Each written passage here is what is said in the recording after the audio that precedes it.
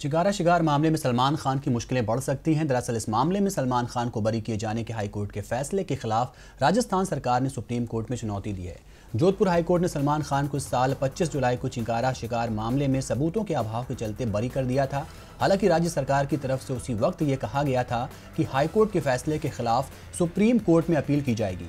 आपको बता दें कि सलमान खान पर उन्नीस से हिरण शिकार के दो मामले चल रहे थे, जिनमें से पहला मामला था भवाद गाँव में दो हिरन के शिकार करने का, जबकि दूसरा मामला मठानिया के घोड़ा फॉर्म में एक और हिरण मारने का था।